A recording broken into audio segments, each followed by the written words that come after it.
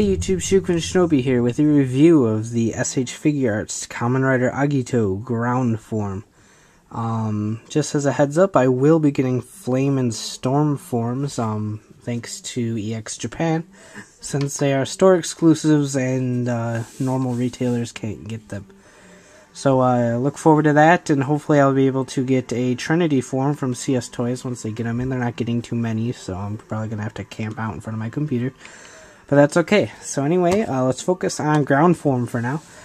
Um, we have a picture of Agito in ground form right here, black and white as normal. Uh, Masked Rider Agito with the Omega symbol. Uh, ground form. Name on the side. On the back we have his logo um, lit up down here with a picture of Agito and then another one in his rider kick. As you can see, it comes with two heads, uh, one head being the normal one, and then one head uh, with his true power activated to rider kick. And that's about all. His other head is right here behind this wall of text. Uh, so let's go ahead and get this guy open.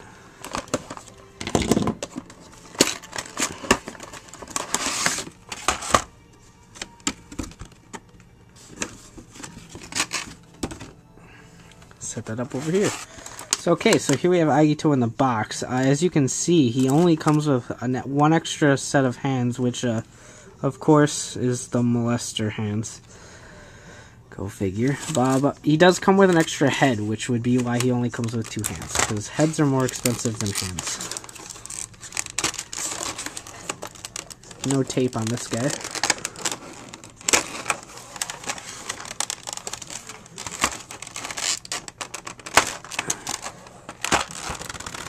They're still quite a bit of a pain to open, though. Uh, so here we have Agito ground form. Let me get him set up. Bring the camera El Downo. Okay. So, um, overall his details are really nice. Um, he's got that same nice eye effect that, uh, Kuuga has. Um, with all the dots, compound eyes, all that jazz. Um, his head seems pretty stable. Uh, typical shoulder pads. Uh, he's very lightweight like Kuuga was because he isn't a very armored rider. He's very natural, obviously. Uh, the belt detailings are really nice. I approve. And I approve of the figure overall. Um, sadly, there actually isn't too much left to uh, review with this guy.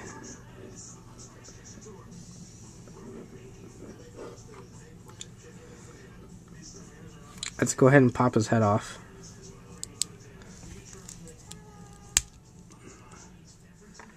As you can see, his head is on a decent joint, so you can keep changing it. This is actually, is this just a... It's not a new head at all, but rather it's a different headpiece. Um, so this head splits off. Here's Agito's head without the head. This is his his brain, his Agito brain. Uh, no, that's just actually the thing that gives him the compound eyes. Uh, so just snap that on. So you have Agito with his crest. And then you just pop his head back on. And it's going to be a pain like uh, the ZECT Trooper was. Yep, I was correct. Half this video is going to be me trying to get his head back on.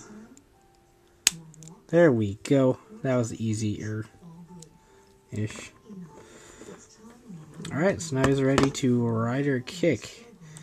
Um, that's about all. I might not even change the hands on this one. I might give him one molester hand. I don't know yet.